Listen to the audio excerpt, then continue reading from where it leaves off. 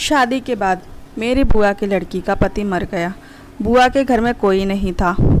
बुआ की लड़की सिर्फ़ अकेली थी। इसलिए मैं उसे अपने साथ अपने घर ले आई। मेरी सास रोज़ मुझे ताना देती और कहती कि इस बोझ को हमारे सर पे ला के बैठा दिया है। एक दिन सुबह जब मैं जगी तो मेरी सास मेरा हाथ पकड़कर मेरी बुआ के लड़की के कमरे में ले गई।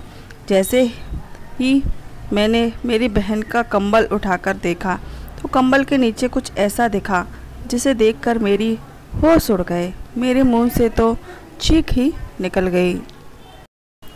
मेरा नाम प्रियंका है। मैं अपने बुआ के साथ रहती हूँ। बुआ के घर में रहती हूँ, क्योंकि मेरे मम्मी पापा की बहुत पहले ही एक्सीडेंट में डेथ हो गई थी।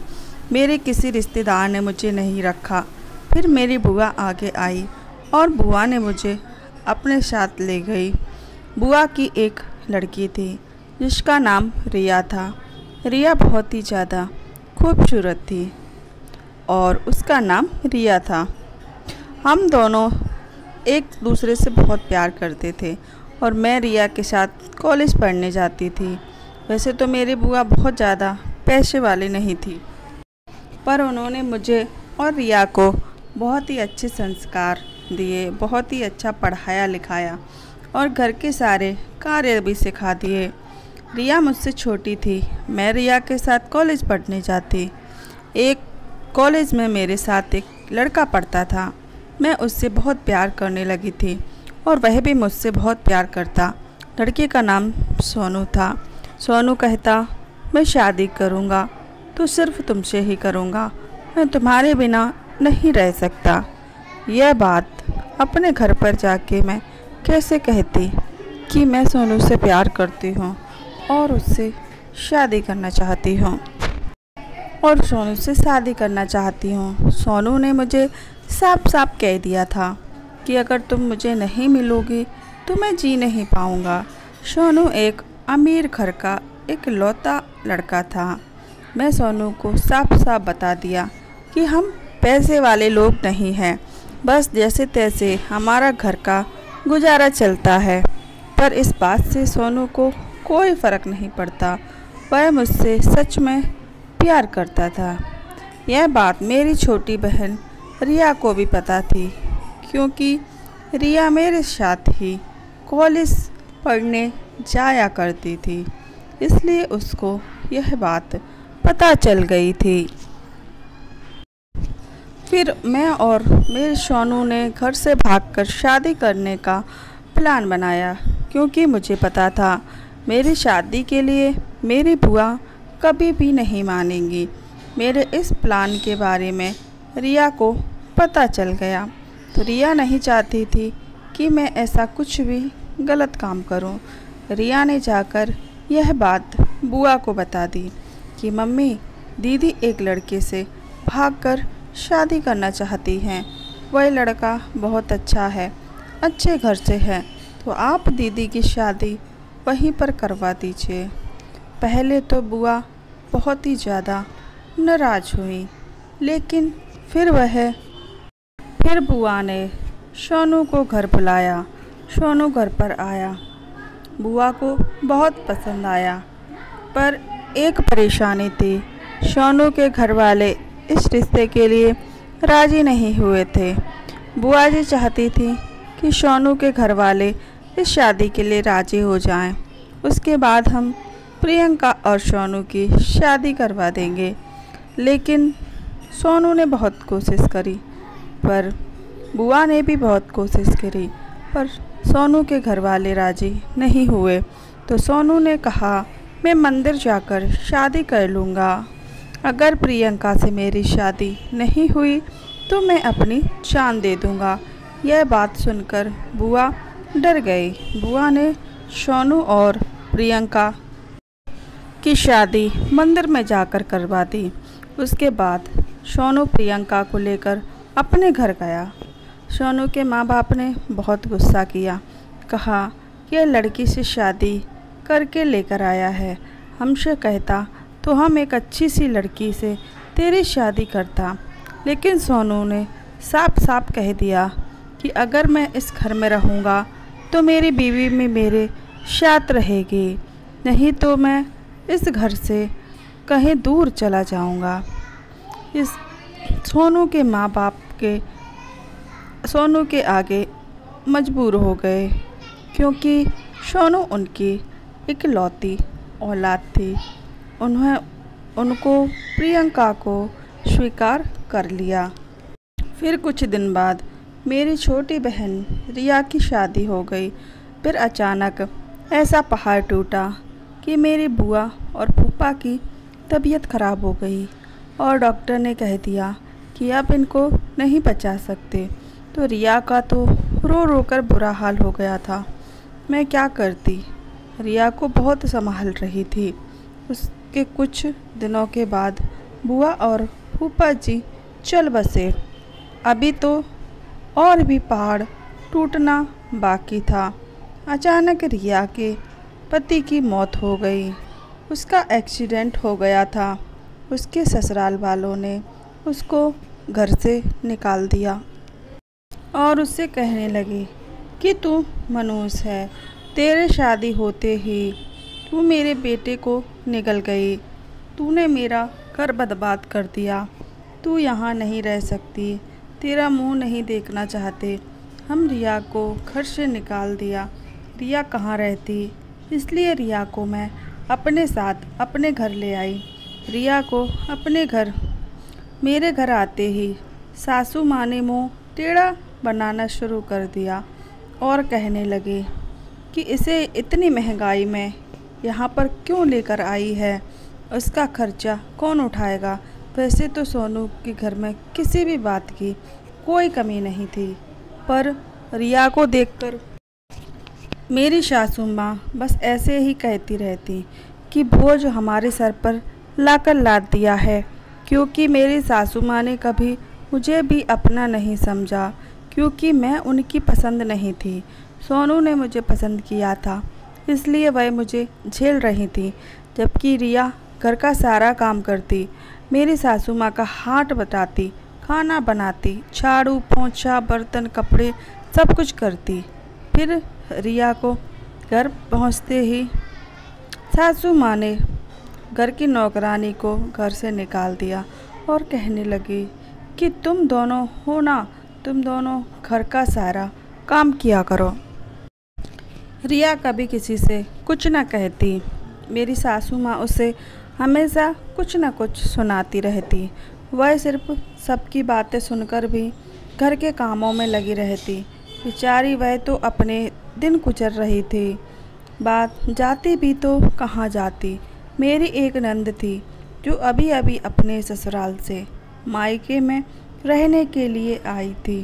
तो मेरी सासू माँ ने कहा कि रिया का बिस्तर हॉल में लगा दो, क्योंकि गेस्ट रूम में मेरे दामाद और मेरे बेटी सोएँगे।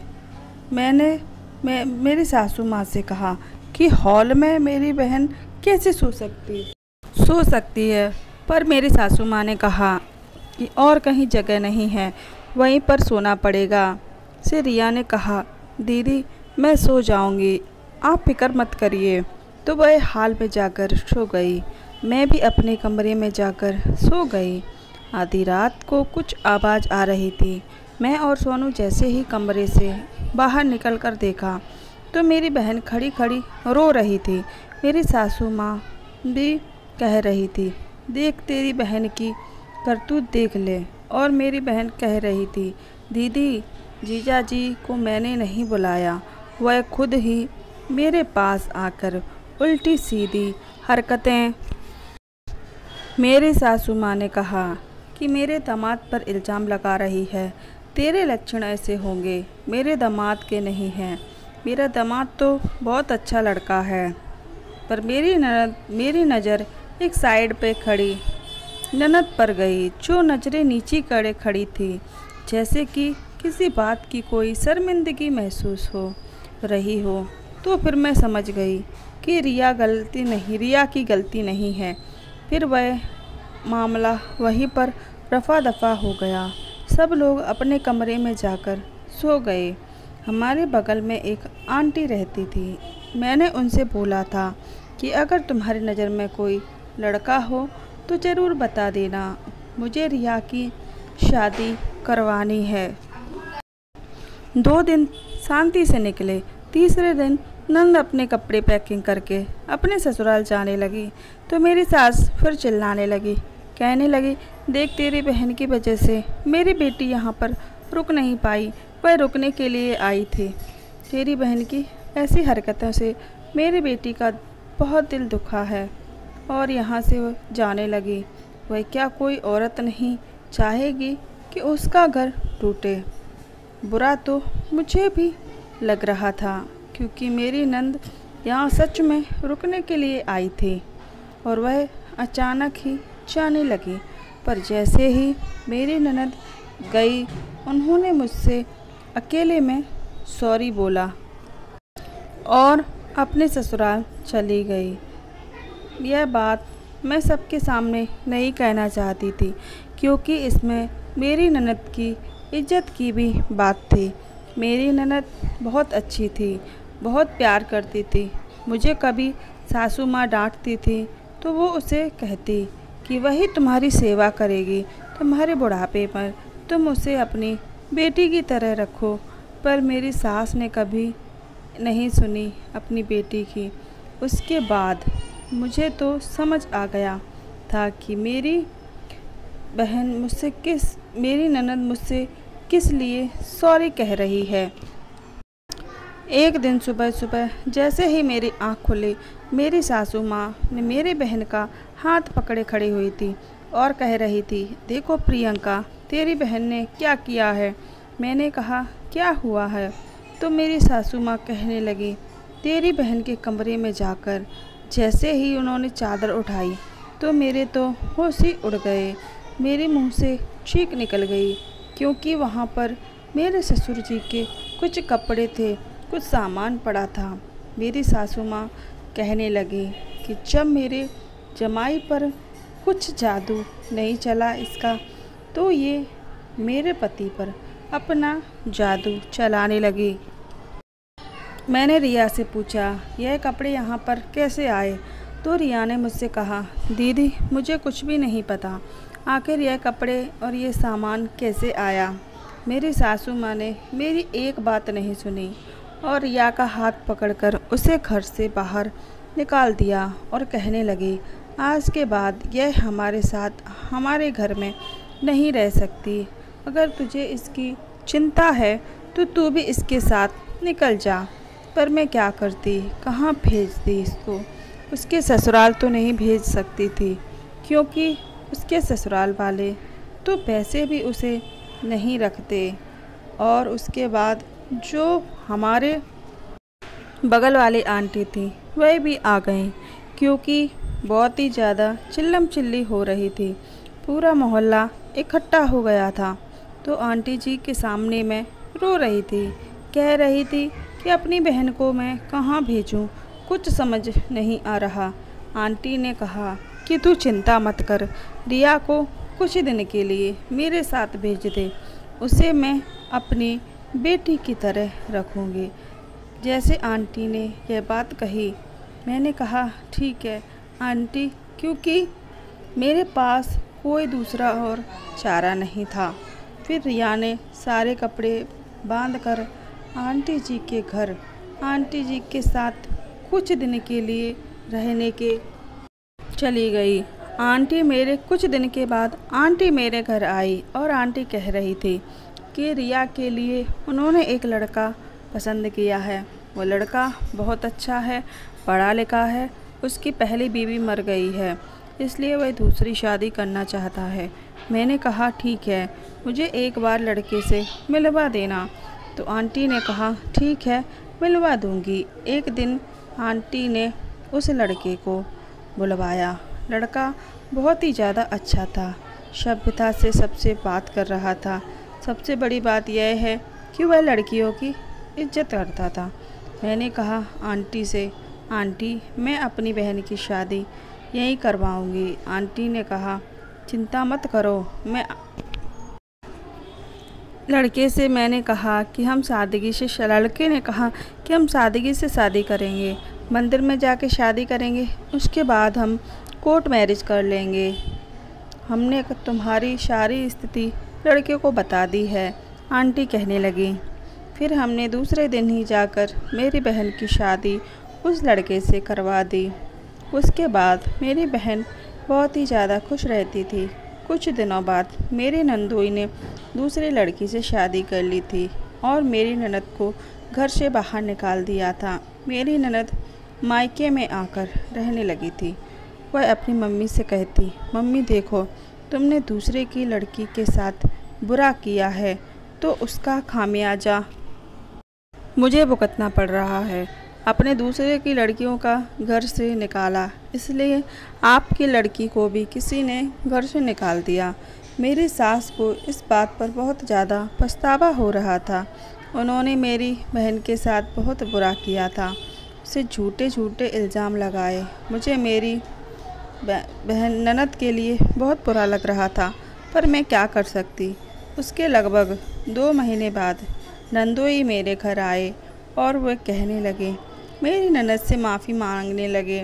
वह कहने लगे कि वह लड़की तो बेकार थी, उससे पहले से ही शादी कर रखी थी और उसने मुझसे शादी तो सिर्फ़ पैसों के लिए की थी, मेरा पैसा लेकर पहले पति को दिया करती थी। जैसे ही मुझे उसका पता चल गया, मैंने उसको तुरंत तलाक दे दिया। मुझे माफ़ कर दो। तुम्हारी जैसी पत्नी मुझे कहीं नहीं मिल सकती। लेकिन मेरे सास ससुर ने ननद को उसके साथ भेजने से मना कर दिया। लेकिन मेरी ननद ने कहा कि यह मुझसे सच्चे मन से माफ़ी मांग रहा है और मैं अपने ससुराल में जाकर ही रहना चाहती हूँ। उसके बाद ननद अपने घर चली गई। मुझे बहुत ही ज़्यादा खुशी हुई। मेरी बहन अपने घर में खुश रहने लगी। मेरी ननद अपने घर में खुश रहने लगी और मैं अपने घर में खुश रहने लगी, क्योंकि मेरी सास ससुर का व्यवहार बहुत बदल गया था और मुझे मुझे वो अपनी बेटी समझकर प्यार करने लगे थे। आज की कहानी कैसी लगी? अगर अच्छी लगी हो तो चैनल को सब्सक्राइब ज़रूर कर लेना। मिलती हूँ मैं नेक्स्ट वीडियो में नेक्स्ट कहानी के साथ। तब तक के लिए bye bye thanks for watching.